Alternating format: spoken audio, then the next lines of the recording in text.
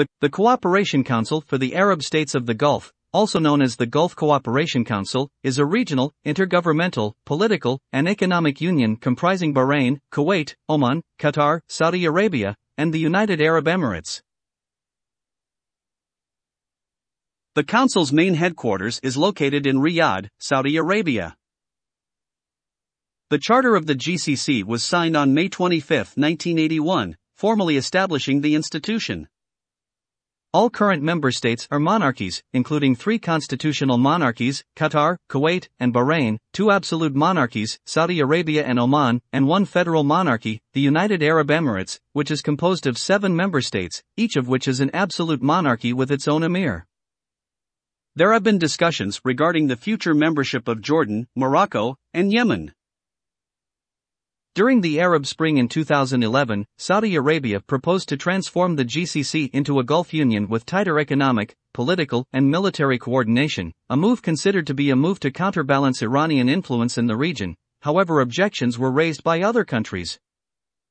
In 2014, Bahraini Prime Minister Khalifa bin Salman al Khalifa said that current events in the region highlighted the importance of the proposal. The Peninsula Shield Force is the military arm of the GCC, formed in 1984. The idea was brought upon by Jaber Al Ahmed. He visited Abu Dhabi to meet with Sheikh Zayed bin Sultan Al Nahyan, and a meeting was created to announce the union comprised Bahrain, Kuwait, Oman, Qatar, Saudi Arabia, and the United Arab Emirates, UAE. The Unified Economic Agreement between the countries of the Gulf Cooperation Council was signed on November 11, 1981, in Abu Dhabi, UAE. These countries are often referred to as the GCC states. The associate membership of Iraq in certain GCC related institutions was cancelled after the invasion of Kuwait.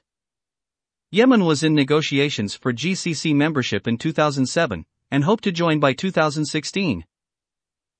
Yemen is already a member of the GCC Standardization Authority, the Gulf Organization for Industrial Consulting, GOISI, the GCC Auditing and Accounting Authority, the Gulf Radio and TV Authority, the GCC Council of Health Ministers, the GCC Education and Training Bureau, the GCC Council of Labor and and Social Affairs Ministers, and the Gulf Cup Football Tournament.